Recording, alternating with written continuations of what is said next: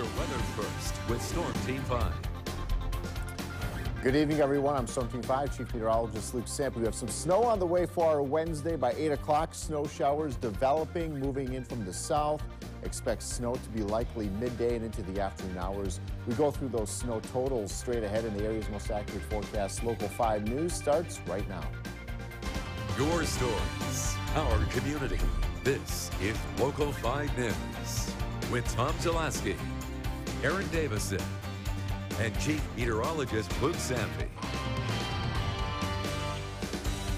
Now on Local 5, local election results for primary races, including the race for mayor of Green Bay. Good evening. Thank you for joining us. I'm Tom Zalaski. And I'm Erin Davisson. News from your local election headquarters. The field for Green Bay mayor has been narrowed from eight to two. Just two candidates now. We'll move on to the general election in April. Here now, we'll look at the results. Eric Genrich and Patrick Buckley will be moving on to the April 2nd election as they were the top two vote getters. Patrick Evans came in a close third, and former Alderman Guy Zima came in fourth. Joe Moore and Mark Stoyer followed Evans and Zima. And then lastly, Nick Mortensen and Paul Busher rounded out the candidates. Okay, as we just showed you, the top vote getter with 44% of the vote, former state representative Eric Genrich. A Local 5's Robin Ogenye joins us now with the reaction from the candidate. Robin? Erin Tom, as you just said, Eric Genrich won with 44% of the vote, and he decided to celebrate here at his home on Green Bay's west side. Now, Genrich told us he is most looking forward to the general election in April and wants to work for what the people of Green Bay want. He's not letting his large lead tonight get in the way of what he really wants to accomplish during his campaign, which includes investing in the city's infrastructure and making sure local government officials work for the people. Yeah, very excited about the outcome, um, but this is ju- really just the first step. This is the primary election, so we move into the, the general uh, election campaign starts tomorrow.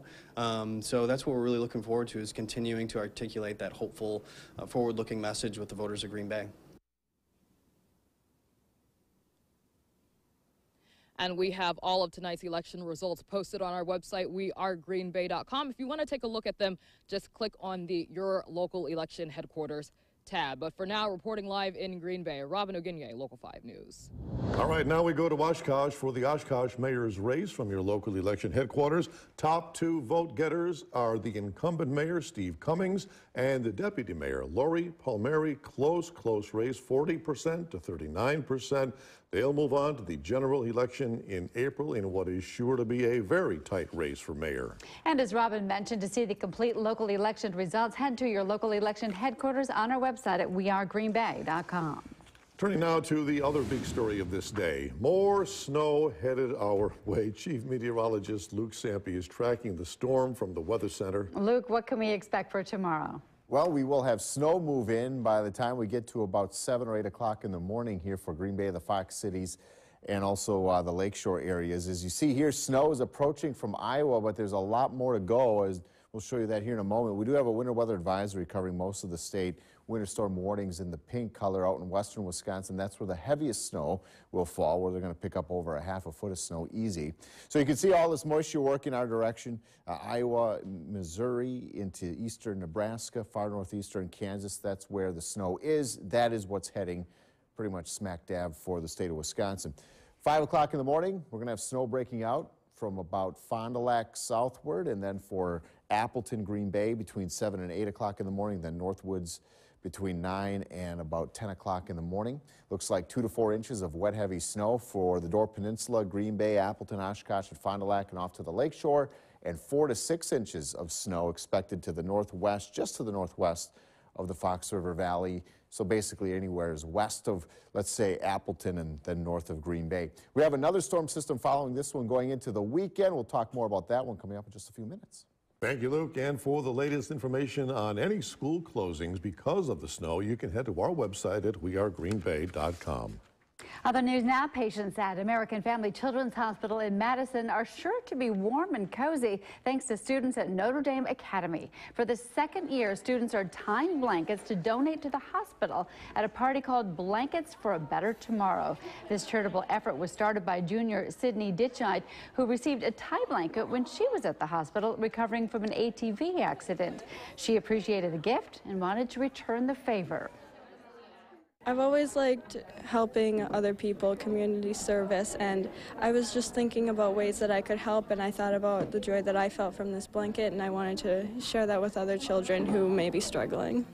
Sydney has a fundraising page to raise money for the cause. You can find it with this story on our website at wearegreenbay.com under local news.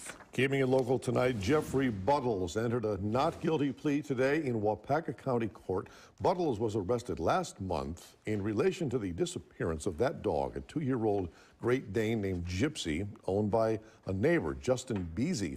Police determined Gypsy had been shot on Buttles' property and before her body was then taken and dumped into a nearby river.